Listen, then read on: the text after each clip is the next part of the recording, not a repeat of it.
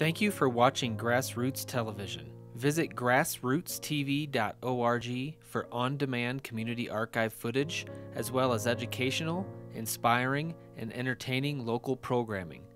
Your contribution allows us to bring a voice to the Valley and to preserve media that has been a part of the community since 1972. Visit grassrootstv.org and follow us on Facebook, YouTube, SoundCloud, and Twitter. The following program, Letting the Stranger In, is generously underwritten by the Jewish Community Center Chabad in Aspen, as well as the Fund for Interfaith Understanding. Enjoy, and again, thank you for tuning in to Grassroots Community Network. And now, Dr. Khaleel Mohammed.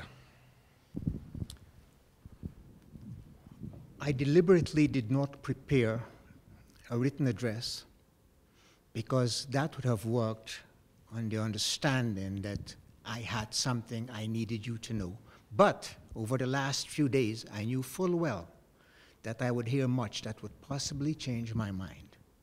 And it is with this in mind now, based on some of you who are sitting here, you have influenced me so much that I give my presentation. This symposium is called Encountering the Stranger. And for those of us, at least there are some of us who remember why it was so named from the book edited by Lenny Grob and John Roth that we speak of the story in Genesis of Abraham encountering the strangers at Mamre. When he saw these strangers, he, list, he did not try to build a wall between himself and them. He asked not who they were. Instead, he greeted them with honor. And as the Bible tells us, he prepared for them the fatted calf. Over the last few days, we have used this religious trope between Muslims, Christians, and Jews with this shared story. We have used religion to show how we should treat the stranger. But you see, among us, I listened to John Pawlikowski.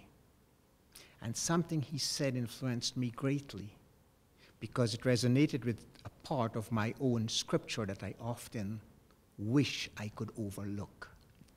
John Pawlikowski told us that religion is often a source of evil. Scott Appleby talks about something in a similar vein that he calls the ambivalence of the sacred. You see, institutional religion in particular, Abrahamic institutional religion in particular, has this thing that we call conflict dualism. The incompatibility between good and evil. And for most of us, evil is something, it is a matter of perception. Our institutional religions often tell us that the other is the evil one. And this is how it becomes a source of evil. My tradition, in the Quran, there is a verse that tells me, and the verse basic, in a paraphrase basically states, Be upholders of righteousness, witnesses for justice, even if it be against yourselves, your parents, or your relatives. As a Muslim, I am part of a larger group that we are observed and we feel oppressed and alienated, ostracized in society at large. And here is where I turn this discussion on its head a bit. We were talking about letting the strangers in. The stranger is often perceived as the visible other. Sometimes if we truly want to make religion good, we have to create that stranger. Based on one of the, what one speaker told us this morning, sometimes being a stranger is praiseworthy. How so?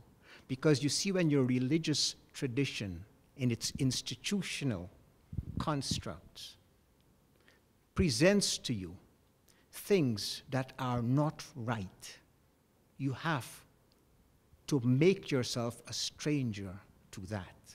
We used Abraham in his concept of welcoming the stranger. I too now use Abraham in creating that stranger. You see, when the visitors inform Abraham, or in some traditions it says God tells Abraham that God is going to destroy two cities, Abraham is perplexed because in the cities they also had righteous people. And his question was remember, this is supposedly coming from God that cities are going to be destroyed. And Abraham's question was, but was in those cities there are righteous people too. Will you destroy the righteous with the evil? Abraham confronted God about this.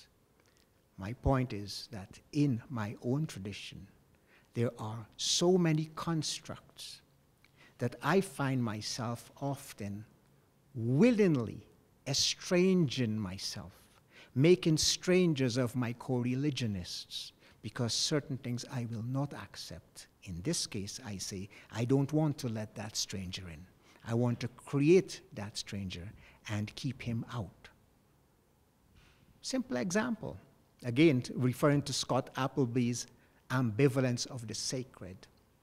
Many of my co religionists, many Christians, many Jews who follow in Scripture will extend the last grain of rice that they have to the so called stranger, smiling as they do it because it is an order from God but with the same smiling visage, they will also kill that stranger if they feel that there is some religious exhortation that he suddenly becomes evil. That is a problem for me. That is when we have to have the strength to know when to welcome a stranger, when to let that stranger in, or when to create a stranger out of that which we hold dear to us short, that's all I wish to say. Thank you so much. Thank you for watching Grassroots Television. Visit grassrootstv.org for on demand community archive footage, as well as educational, inspiring, and entertaining local programming. Your contribution allows us to bring a voice to the Valley and to preserve media that has been a part of the community since 1972. Visit grassrootstv.org and follow us on Facebook, YouTube, SoundCloud, and Twitter. The following program, Letting the Stranger In, is generously underwritten by the Jewish Community Center Chabad in Aspen, as well as the Fund for Interfaith Understanding. Enjoy, and again, thank you for tuning in to Grassroots Community Network.